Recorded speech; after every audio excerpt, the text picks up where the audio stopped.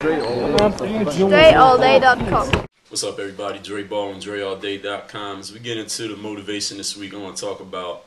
maintaining your balance, like emotionally, spiritually, how you feel about yourself and about your situation, no matter what comes your way. Because we all have situations that, like I talked about before, something that you might want, something that you might not have wanted, unexpected events, things that happen with other people around you, or other situations that are around you that may affect you directly or indirectly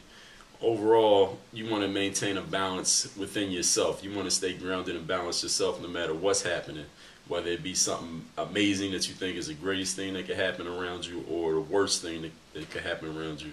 We call that emotional intelligence. So even if something great happens, like say you and your friend is both trying to do the same thing and something great happens for your friend, but doesn't happen for you and you like, damn, I thought I was just as good or better than my friend, but this great thing's happening for them, but it's not happening for me your emotional intelligence is what's going to keep you grounded and not make you get too high or too low about a situation that happens with somebody else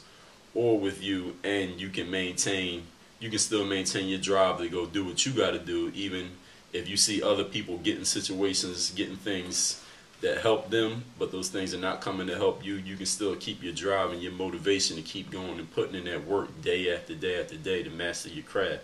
even if you don't see the results paying off for you like you see the results paying off for other people is if you made a commitment to doing it you'll be emotionally grounded and emotionally intelligent enough to keep going at it no matter what's happening around you to other people or to yourself. So that's the motivation for this week. Work on your game. Dreallday.com